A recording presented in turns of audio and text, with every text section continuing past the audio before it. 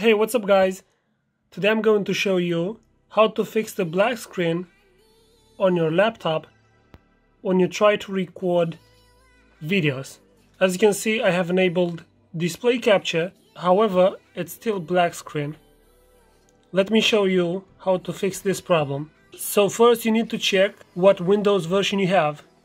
So go to settings, go to about, and you can see your Windows version. 1909 as you can see okay so for this particular version you will need to do the following you go to settings go to display go to the bottom click graphic settings click classic app click browse then go exactly where is located OBS X file okay it's right here.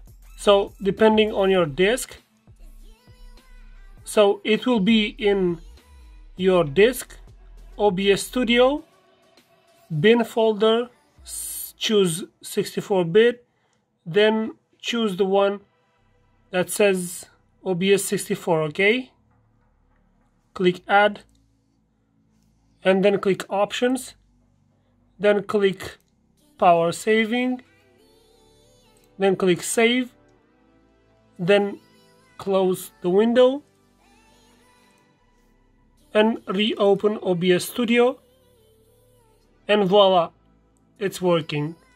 And that's how to fix the OBS display black screen capture okay? If you enjoyed the tutorial drop a like and subscribe my YouTube channel to motivate me make more videos.